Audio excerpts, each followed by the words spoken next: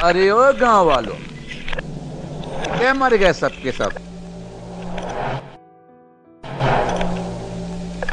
चले जाओ इतने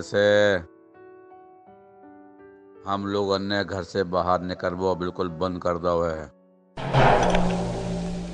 और सब और अन्य अपने मुँह पे मास्क लगावो साफ़ सफ़ाई से रहो शुरू कर दो है। कोई भी समझा रहा है, कोरोना, चलो जाए तैसे और घर से ना निकल। अगर ते निकले कुटिया से, आ जाए लुटिया में।